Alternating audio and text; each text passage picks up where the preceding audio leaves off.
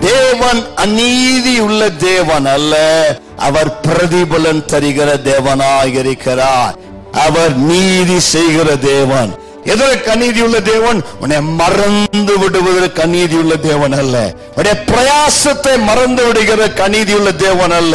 உடைய ஜெபத்தை உடைய உழைப்பை பரிசுத்தவான்களுக்கு நீ செய்கிற சகாயத்தை நீ சிந்தின கண்ணீரை நீ பட்ட பாடுகளை உடைய கிரியைகளை மறந்து விடுகிறதுக்கு தேவன் அநீதி உள்ள தேவன் அல்ல. உன் தேவன் உன்னை நினைத்திருக்கிறார். ஆண்டுனை மறக்கவே இல்லை. உன்னை நினைத்திருக்கிறார். ஏற்ற காலத்துல ஏற்ற வழியில உனக்கு கற்ற நன்மை செய்வார். உன்னை உயர்த்தி விடுவார். கத்திற்கு மகிமை உண்டாவதாக.